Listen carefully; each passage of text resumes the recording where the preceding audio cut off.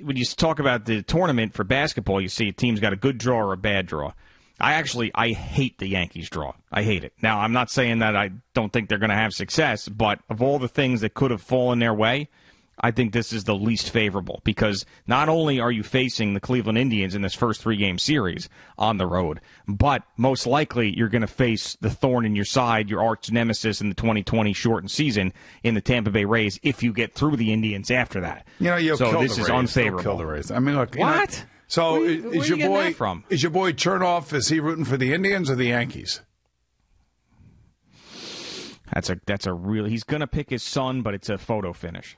It's a photo finish. Really? He's always yeah. He's always gonna. I mean the the Yankees going on a big playoff run would be Mm-hmm. great for the radio station, but I still think that he ends up picking his son over the radio station by Really? by, by like a nose, by a nose, yeah, by a nose. Hmm. He's always gonna pick his son. Can you blame him?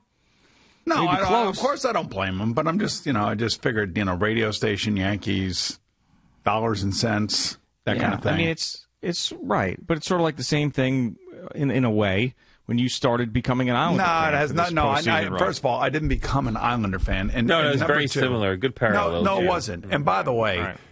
the Islanders don't make me any money. Okay, the Yankees. But they keep your daughter happy, which is even more important, Uh, okay, don't they? I, I guess so. You know, if, whatever. Yes, I guess you're right. I'm not. I'm not getting into that.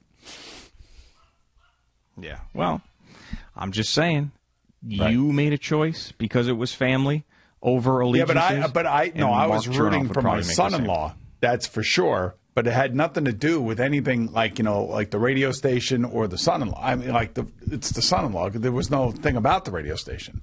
This happens to have a very large impact on the radio station.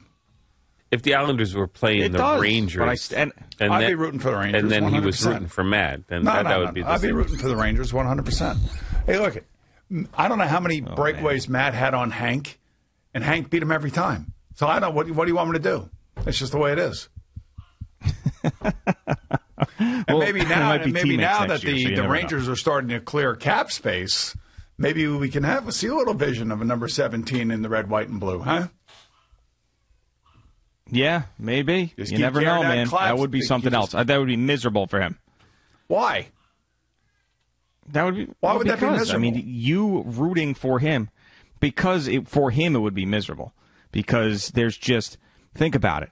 The way you would be on his ass at, at any point if he screwed up, bad turnover, whatever. I mean, it would just you'd be incessantly texting him. You'd be ripping him on the air. It would be the worst decision. I, ever I made. would be standing outside that locker room. What the hell? What, the, what are we doing here? Would be the toughest guy they've had in like 15 years. Yeah, you're right. That's what I'm saying. This is what our team now. Now that we get this cap space and we start moving things around, moving pieces around, bringing some other young guys up, maybe drafting this kid number one overall. Woo-hoo, baby, here we go. Can't wait for uh, January have a 1st, radio- 2021. Get get rid of 2020 Oh, yeah. and start Uh, the season in 2021 and let's roll.